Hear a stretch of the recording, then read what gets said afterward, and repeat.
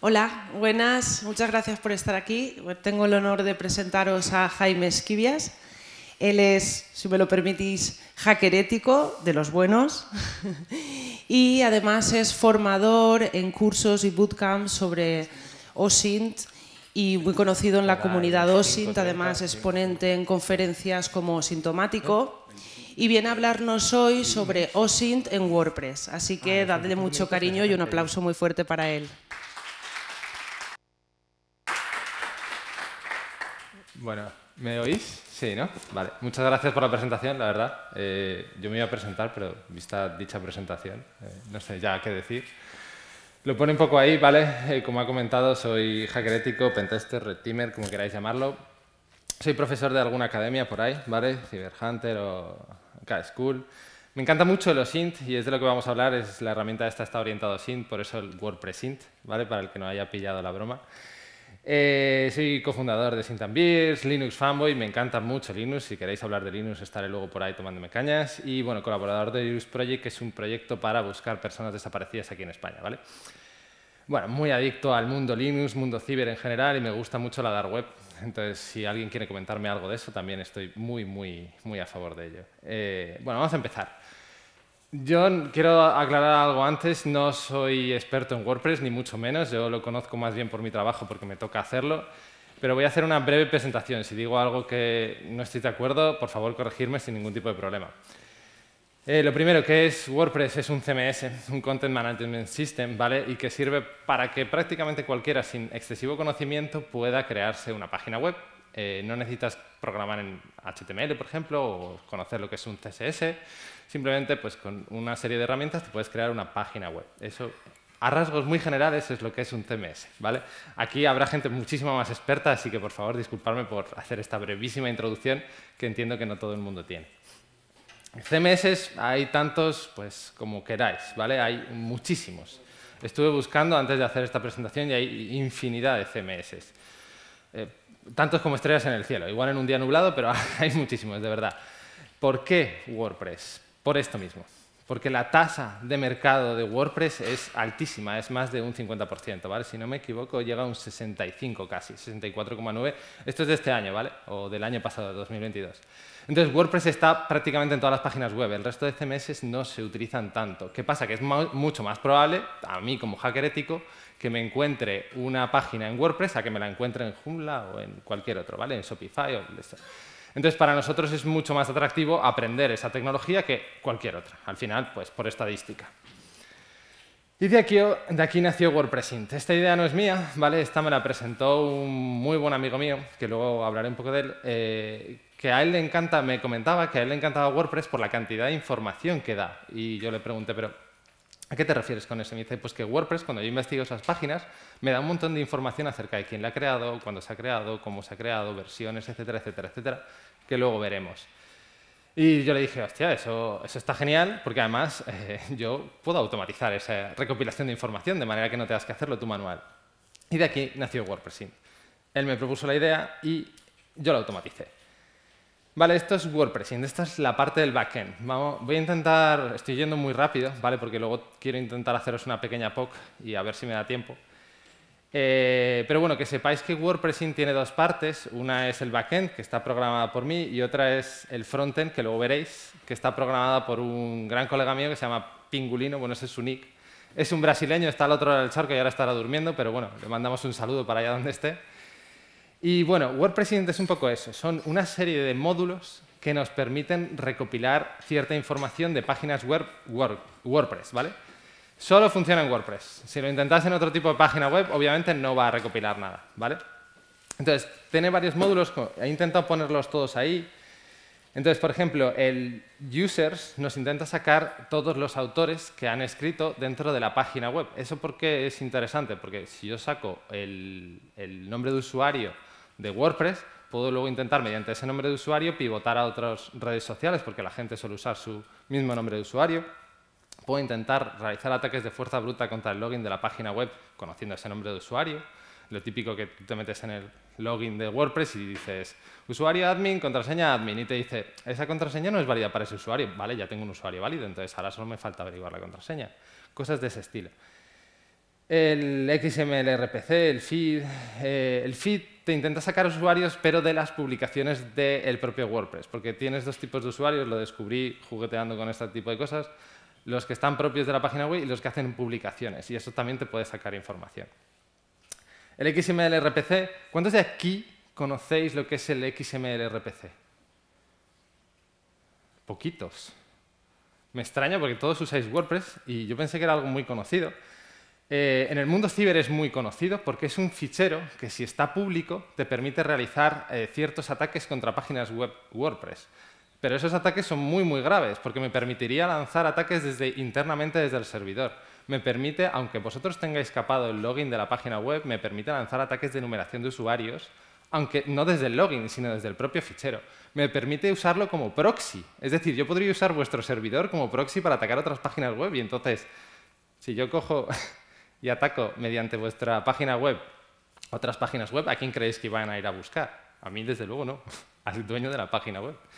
Entonces, es un fichero bastante peligroso y me he encontrado que está muy expuesto y la gente no lo suele quitar. Y además ni siquiera es conocido. Otro de los ficheros que se ve ahí ¿vale? es el cron. ¿Cuántos de aquí conocéis lo que es el cron? Vale, mucho mejor. Si digo algo incorrecto, por favor, eh, luego corregidme, pero yo tengo entendido que el cron es un fichero que realiza una mm, consulta base de datos pesada, que llamamos nosotros, ¿vale? ¿Qué consiste eso? Que realiza una consulta base de datos que tarda un tiempo en realizarse y consume recursos. Es un problema, en principio no es un problema si se realiza una consulta. ¿Qué pasa si yo le lanzo 100 consultas concurrentes, o 1000, o 2000, o 10.000? Eso es muy fácil hacerlo con las herramientas de hacking hoy en día, ¿vale? Eh, y si tú lo dejas abierto, pues te tumbo la página web. Así de fácil. Y simplemente por tener un fichero expuesto. Eh, entonces es bastante curioso. Login Interface. Esto es un pequeño modulito que lo que intenta es sacar eh, la interfaz de login si la tenéis expuesta o no. ¿Por qué es grave tener una interfaz de login expuesta? Porque os exponéis a otro tipo de ataques, enumeración de usuarios, como ya he dicho, y ataques de fuerza bruta. Entonces suele ser mm, lo normal es intentar poner un captcha o algo que retrase ese tipo de ataques o capar directamente el acceso y solo acceder desde unas URLs determinadas o desde unas IPs determinadas. Pero bueno, si tenéis luego dudas de cómo solucionar estas cosas, preguntadme. Ahí he puesto un ejemplo, ¿vale? El show login, ese es de la propia página de Pingulino, me ha dado permiso. Yo me lavo las manos. Pero estos son sus logins que se encuentran. Realmente ahí veis cuatro URLs, no son tantas, sino que todas esas URLs hacen redirección al login de la página, ¿vale? Por eso se ven cuatro, porque si tú pones cualquiera de esas URLs en, el buscador, eh, bueno, en el, navegador, te va a redirigir hacia el login de la página, ¿vale? Pero realmente no son esas cuatro. Vale, y aquí tenemos otros modulitos, el de Fed Users, lo que os he comentado, ¿vale? Ese es un pequeño ejemplo con la propia página de WordPress, que por cierto tienes puesto el XML RPC, WordPress, algo que, queráis comentar. Eh, el Fed Users es lo que os comentaba, hay un ficherito que se llama barra feed, ¿vale? Luego voy a intentar, a ver si en la POC lo puedo mostrar. Y si vosotros ponéis eso, os descarga un fichero con todo el, el feed, que es de la página, donde vienen todas las publicaciones, la versión de WordPress y quién ha hecho esa publicación, que es lo que a mí me interesa. ¿vale? Se pueden sacar mucha información, pero a mí me interesaba la versión de WordPress para ver si está actualizado o no, eh, y los usuarios, es decir, quién ha hecho dicha publicación, porque normalmente va con o nombre y apellido o eh, nick. Entonces, esas son, ese es lo que hace el getFeedUsers. ¿vale? Y el getCrawl es un intento de crawleo de la página para sacar correos, eh, emails y, o sea, perdón, eh, emails del dominio, emails que no estén dentro del dominio, porque si yo estoy, por ejemplo, con la página de wordpress.org y, a mí me sale un email que no es wordpress.org y es Gmail, es un email, pero no es de la propia página. Entonces también me está dando información de que hay gente registrada ahí o están utilizando emails de, otros, eh, de otras páginas web a las cuales yo podría intentar pivotar o tener emails personales.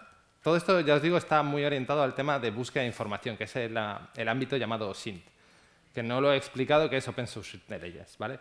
Si luego tenéis dudas, repito, es que estoy yendo muy rápido, pero luego os comento todo esto. Y, sacar thieves. ¿Por qué los thieves son importantes? Y esta es una parte que me comentó mi colega. Eh, los thieves son importantes aquí en España. ¿Por qué? Por, legalidad tienes que ponerlo. Si una página web os encontráis que no tiene un thief, eso es ilegal en principio y se podría hasta denunciar, ¿vale? Porque tiene que ir ligado a, si es de una empresa, tiene que ir ligado a esa empresa. Y bueno, aquí es como, como veis, ¿vale? Ahí en el otro es que no se ve muy bien, pero bueno, estoy comprobando los ficheros de cron, de XLMRPC, la versión de WordPress, ¿vale? La versión de WordPress, no os fiéis porque yo compruebo contra... encontré que la API de WordPress te permite comprobar las versiones, pero no te saca exactamente la última, porque la última es la versión beta, ¿vale? Y, por ejemplo, WordPress.org usa la versión beta y por eso ahí pone que la 6.4 está desactualizada. Es mentira. Realmente la, WordPress está utilizando la última versión, que es la beta. Pero bueno, eh, nosotros comprobamos con la última estable. Eh, y el fichero proxy, esa es, una cosa muy curiosa. Ah, ¿Alguien sabe? Bueno, entiendo que la mayoría sabéis lo que es un proxy. ¿Sí? Vale. Eh, ¿Sabéis que WordPress te permite usar vuestra propia página como proxy? ¿Cuántos de aquí sabe eso? Vale. Pues hay un ficherito también muy maravilloso. Bueno, un ficherito, una URL realmente, que es la de wp-json. Es que no se ve mucho, ¿vale? Pero la voy a deletrear, que es wp-json barra omdet barra 1.0 barra proxy eh, interrogación URL, ¿vale? Y ahí pones la URL que tú quieras acceder. Vale, eso lo que está haciendo es utilizar vuestra propia página web para acceder a dicha URL. ¿Por qué es interesante desde el lado de vista de un atacante? Porque significa que tu servidor me está haciendo una petición a mi servidor y puedo obtener información interna de vuestro servidor. ¿Y qué información interna? Direcciones IP, si tienes otros dominios dentro, etc. Hay un montón de cosas que se pueden hacer. ¿vale? Y eso es otro ataque que se suele hacer. Ese es más difícil encontrárselo abierto. ¿vale? Generalmente, al menos yo lo que he visto por defecto, viene cerrado. Pero hay veces que te lo puedes encontrar abierto y hacer cositas. Vale, Proof of concept. Ahora, eh, cruzad los dedos, rezad lo que sepáis, porque voy a intentar eh, que esto funcione en el frontend. ¿vale? Esto está montado en una página web, que os voy a pasar la URL, para que luego, por si queréis probar, eh, y voy a ver si soy capaz de sacar un Chrome aquí. Y acceder a la URL. Estoy haciendo leak de información.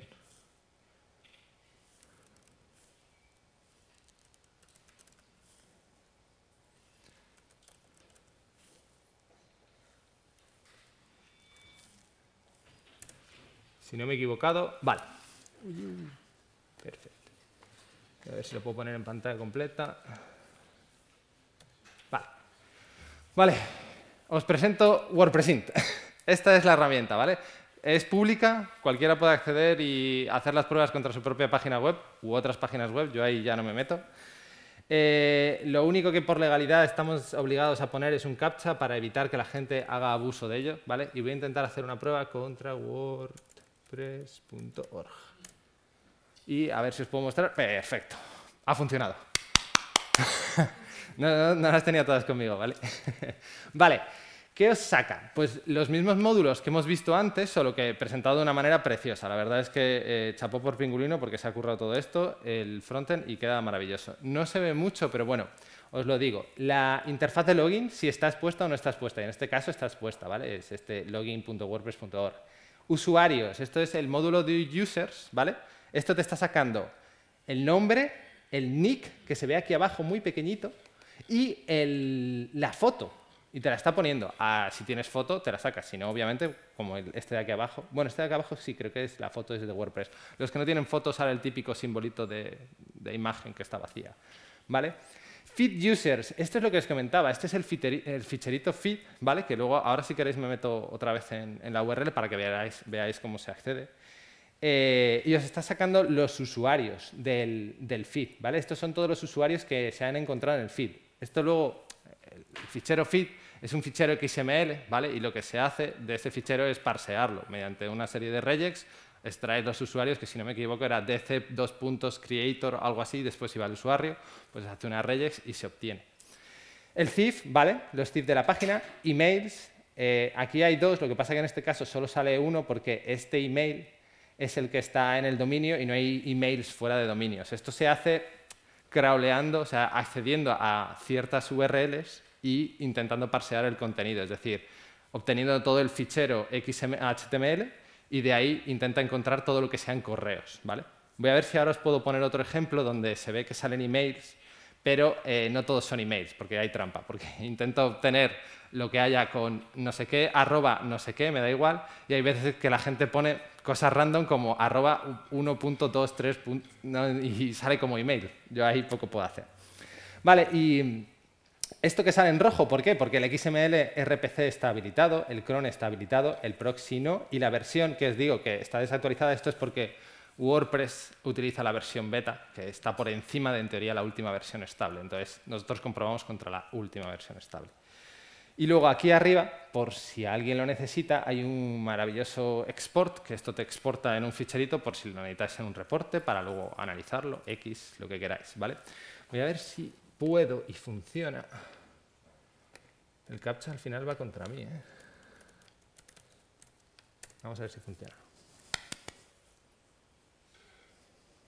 Bien, vale, esto es lo que os digo. Esta gente no tiene puesta eh, imágenes, pero también te saca los usuarios, aunque no tienen ninguno foto de perfil. Usuarios. Y veis aquí, esto es lo que os comentaba. Estos son correos propios del dominio, veis que todos tienen el arroba eh, cultra.com y estos son correos que en principio, este sí es un correo, pero este es arroba 2x.png, eso es una imagen. Pero claro, como es algo, arroba algo, mi regex no está muy bien hecha, no soy experto en regex, eh, pues sale como mala, ¿vale? ¿Qué más? Y bueno, lo mismo que antes, ¿vale? Voy a quitar esto. Eh, vale, esto es lo que os comentaba, solo para que lo veáis, ya que por si no lo conocéis. Si vosotros vais a esta URL, esto es el fichero feed que os comentaba, ¿vale? Este ficherito, como podéis ver por aquí, tiene la versión, que en este caso es la alfa, ¿ves? Ni siquiera es beta, es alfa. Y luego aquí tenéis los DC Creator que os comentaba. ¿Vale? Eh, volvemos, a ver si soy capaz de ponerlo. Bueno, esto era por si no me funcionaba, pero ya lo he explicado, así que bueno, genial. es lo mismo que hemos visto antes, ¿vale? Eh, tenéis ahí la URL, tenéis los usuarios, los feed users, el, el thief, los emails, etc. ¿vale? Y esto es lo mismo, pero para la página de WordPress. Y he ido muy, muy rápido, igual demasiado, pero no sabía si me iba a dar tiempo, lo siento mucho. El otro compañero que os comentaba es Yezer Ferreira, ¿vale? Eh, es un crack en lo suyo, es el genio detrás de WordPress Int, es el que me incitó a esto. Es un crack en OSINT, ¿vale? Específicamente, ciberinteligencia. Pingulino, que es el otro gran desarrollador detrás de esta idea, y yo, ¿vale? Y poco más, muchísimas gracias a todos.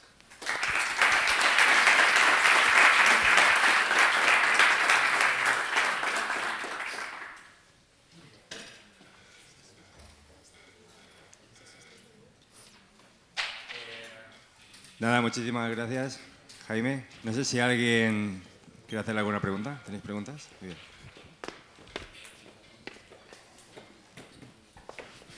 Bueno, enhorabuena Jaime, la verdad que eh, es una pasada y además es un tema súper interesante el tema de DOSIN.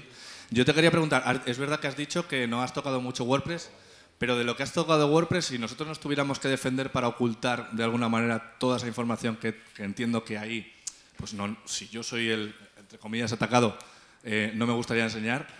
¿Tienes ya, has, hecho algo más como para que podamos decir, pues mira, yo utilizaría esto para ocultar esta historia, yo utilizaría esto para lo otro? Si nos puedes contar un poco más, porque la verdad que es muy interesante. Eh, sí, eh, ya te digo, yo no lo he tocado tanto, pero tengo ciertas ideas porque el, el que he comentado, su página web de sus cursos, eh, está hecha en WordPress y es con la que he hecho la mayoría de pruebas. y él ha ido quitando todos y cada una de las cosas que veis ahí, ¿vale? Es su página web, si ahora se la tiras con mi herramienta, no te saca absolutamente nada. Entonces, lo que puedes hacer es cortar el acceso. Eh, por ejemplo, el panel de login. El panel de login él lo tiene puesto de manera que solo, eh, primero, tiene un fail to ban. Eso puede llegar a ser peligroso porque te puedes quedar tú sin acceso durante X tiempo. Y luego, si no me equivoco, tiene un acceso restringido dependiendo de por, eh, por IP o por URL. Eso ya no lo sé, ¿vale? Le tendría que preguntar. también hay ciertos plugins, si no estoy equivocado, en WordPress que te evitan ese tipo de cosas, ¿vale? ahora no recuerdo exactamente cuáles, pero sé que los hay. Para el tema de la enumeración de los usuarios, es, igual, ¿vale? Es que no tengo ahora el código fuente, pues no es mi ordena, pero eh, básicamente lo que se comprueba con todo lo que habéis visto son ciertas URLs, se hace una petición, se saca el contenido y luego se parsea, se, se recopila, ¿vale? Entonces, por ejemplo, para el tema de usuarios, es, eh, si no me equivoco, es barra v2, barra o wp-json, barra v2, barra users o algo así, ¿vale? Puede escapar el acceso a esas URLs, al igual que puede escapar el acceso al, barra XML RPC, ¿vale? Eh, tú directamente cortas ese acceso, le pones que no un 404 o un 403 o lo que te dé la gana y ya está. Y, te, y evitas el problema, literalmente. ¿vale? lo, más complicado yo creo que es el login, porque al final tienes que poder acceder al panel de administración.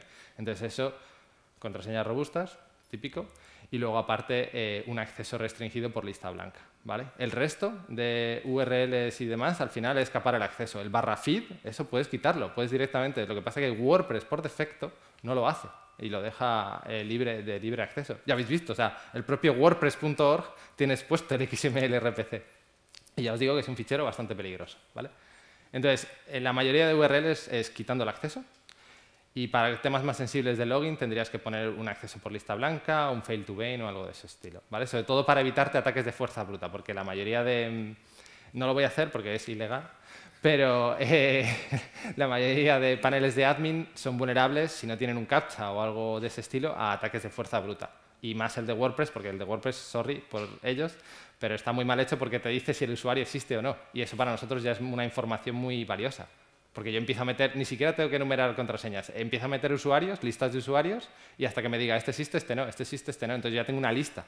Ah, yo lo que pasa es que lo estoy sacando de manera legal, pero si tú me capas, por ejemplo, esas URLs, yo puedo lanzarte un ataque de fuerza bruta contra el login para sacar tus usuarios también. ¿Vale? Entonces eso es como lo más problemático. ¿Alguien tiene alguna otra pregunta? ¿Preguntas?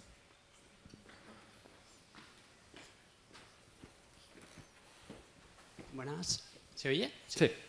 Eh, primero que todo, enhorabuena por la charla. Muchas gracias. Y mi pregunta es, ¿serías, serías capaz, eh, con un poco más de desarrollo, de enumerar también los plugins de la, y, las consecuentes versiones de los mismos? Sí, es muy sencillo. ¿vale? Hay, hay otras URLs. Lo que pasa es que para ese tipo de cosas hay una herramienta que ya existe, ¿vale? que se llama WP Scan, ¿vale? Esa herramienta está orientada más al ataque. esta herramienta está orientada más a la recopilación de información que al ataque, pero sí, de hecho, una de las ideas que teníamos, porque eso también puede ser valioso, sobre todo para la gente, no ya de un lado de atacante o recopilar información de cara a una investigación, por ejemplo, criminal de una página, sino más al lado de los defensores vuestro de, oye, quiero protegerme, es interesante saber qué versiones y si están actualizadas o no es una de las siguientes cosas que queremos meter. Y es relativamente sencillo porque es comprobar otra, otro par de URLs ¿vale? y sacar la información de dichas URLs. Pero sí, sí. Muchas gracias por la charla. Eh, bueno, de cara a la anterior pregunta, comentar por el plugin, por si no lo conocéis, que ha hecho Javier Casares de WP Vulnerability, que está contrastado con toda la base de datos de WordFence, de los propios creadores de, de plugins premium y de repositorio que te dice ah, si está actualizado o no y digamos el fallo de seguridad que tiene. Pero lo tienes que instalar tú en tu instalación, ¿vale? Claro, eso lo comentaba. Sí, sí, por eso digo que como, digo, como para ver el estado de seguridad de, tu sitio. Eh, por otro lado, a la hora de complicar el tema del acceso en el login, o sea, sí, los caches están muy bien, pero en mi caso, con discapacidad visual, cada vez que Google me pone un cacha con imágenes, yo, no me puedo logar. Entonces, ¿tú conoces alguna otra alternativa en la que yo pueda securizar el login pero no me fastidie a mí mismo? Te quiero decir, porque mm, para mí es incompatible. Eh, fail to ban. Vale. Fail to ban porque es lo más... O sea, al final no es un captcha porque vas a poder lanzar ataques, pero si, por ejemplo, pones cinco intentos, eh, un ataque de fuerza bruta llevo, o sea, yo te lanzo 100 peticiones en, en un segundo, entonces eh, se, le ha bloqueado directamente. De hecho, es lo que tiene mi compañero porque yo doy cursos en su plataforma y al mismo tiempo estaba haciendo pruebas en su plataforma de este tipo de cosas. Y me dijo, ah, pues prueba el login. Y le lancé un ataque de fuerza bruta y me quedé tres días sin acceder a su plataforma porque el Fight to One me dijo, bien jugado, macho. Y por último, bueno, el feed, que a la hora de restringir el acceso, eh, bueno, WordPress es verdad que te crawlea por, por robots, pero es verdad que para cierto tipo de contenido, bien sea un podcast o algún otro método, sacan la información del feed. Si yo lo capo, me estoy... Claro, claro, eso, eso claro, sí. Estoy completamente de acuerdo. Al final eso tiene que haber un entendimiento entre usabilidad y seguridad, ¿vale? Lo que puedes hacer es qué información está dando tu feed, ¿es realmente grave que esté pública? Si no es realmente grave, porque realmente la necesitas, por ejemplo, es un podcast o quieres, como antes han comentado, eh, mejorar en el SEO y todo eso, al final eso lo crawlean, los crawlers, los buscadores lo hacen, entonces lo necesitas tener, pues no pasa nada, ¿vale? Aquí intentamos sacar toda la información posible, que luego ya es decisión propia de si me compensa o no, porque en este caso, el, por ejemplo, la de WordPress, en el feed había, creo que, los usuarios que habían en, en el otro lado, entonces te da un poco igual porque tienes la misma info pero luego igual hay páginas que están dando mucha más información que no necesitas. Sobre todo yo creo que si queréis capar cosas o quedaros con, cosas que tendréis que quitar sí o sí, yo quitaría el XML RPC y el cron, porque son dos ficheros que no os aportan absolutamente nada, yo tengo entendido que no os aportan nada y son ficheros que pueden llegar a ser peligrosos. El resto el login, pues un fail to ban, en tu caso, por ejemplo, y el feed, pues realmente da información que incluso navegando por la propia página tú manualmente lo puedes llegar a sacar. Lo que pasa es que en este caso lo hace automático. Nada. ¿Más preguntas? ¿No? Pues nada, Jaime, te traigo el regalo de la organización. Muchas gracias. Ha sido súper interesante la charla. Además, esta semana a mí personalmente me ha tocado limpiar tu sitio hackeado de WordPress. Así que, bueno, un fuerte aplauso. Muchas gracias.